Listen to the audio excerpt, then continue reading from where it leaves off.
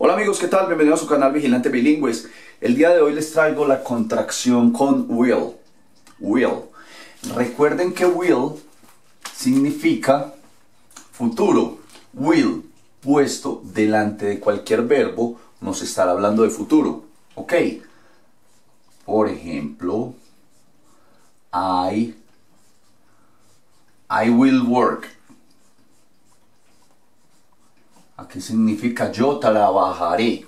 ¿Ok? Entonces yo conseguiré, I will get, yo daré, I will give, yo veré, I will see. ¿Ok? Esto delante de cualquier verbo significa eh, futuro. Esto a manera pues de recorderis. Hoy vamos a ver cómo se contrae will. La contracción con will es muy sencillo. Es solamente quitar la W y la I en vez de colocar will, vamos a cambiar esa W y esa I por el apóstrofe, ¿ok? O la comita que llamamos, y solamente dejamos las dos letras L, ¿ok? Esa es la contracción. ¿Cómo sonará esto? Bueno, pues así solo, muy complicado. Entonces necesitamos para ello los pronombres personales, aquí los tenemos, ¿ok? Entonces a cada uno de los pronombres le vamos a colocar will, pero ya contraído o sea, sin la W y sin la I, ¿ok? Entonces, I, le vamos a colocar apóstrofe y las dos L's, ¿ok? Entonces ya aquí quedó, esto se pronuncia I'll, I'll, I'll, ¿ok? Para la pronunciación vamos a decir, primero, vamos a pronunciar el pronombre I'll, y cuando vamos a decir la doble L, entonces pegamos la lengua arriba en las encías y soltamos. Miren, I'll, I'll, I'll. Decimos I, que es el pronombre I. Cuando vamos a decir oh, oh, entonces pegamos la lengua acá arriba en la encía y obviamente soltamos. I'll, I'll. ¿Ok? Entonces, I'll be. Miren lo que les decía ahorita. Yo, este cero estar, ¿cierto? Yo seré o yo estaré. ¿Vieron qué sencillo? I'll be. I'll be. No decimos I will be. I will be. No, ya vamos a decir I'll be. I'll be. Yo seré o yo estaré. ¿Vieron a qué me refiero? Muy sencillo. Es will contraído. ¿Ok? Entonces vamos con you. Apóstrofe doble L y vamos a decir you'll, you'll. Lo mismo, pronunciamos you y hacemos lo mismo con, con la lengua como les dije ahorita. You'll, you'll, you'll. Y soltamos, ¿ok? Así vamos a hacer con todas estas para no repetir la pronunciación de esta doble L, ¿ok? Entonces vamos a decir you'll, you'll work.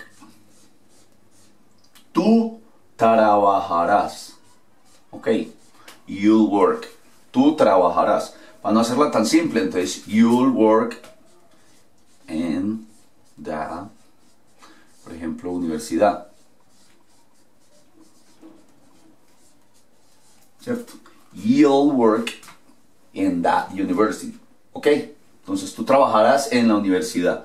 Recuerden que esto es futuro contraído. Con he, entonces lo mismo. Vamos a decir he'll heal, heal, ok. Con she, lo mismo, apóstrofe, shield, shield, shield, shield travel, vamos a colocar aquí sí ejemplo. Ella viajará por el mundo.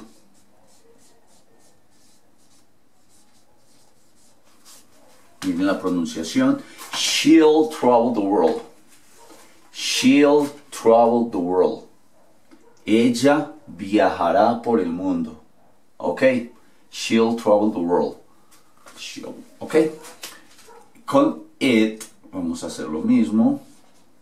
Y vamos a decir it'll. It'll. It'll.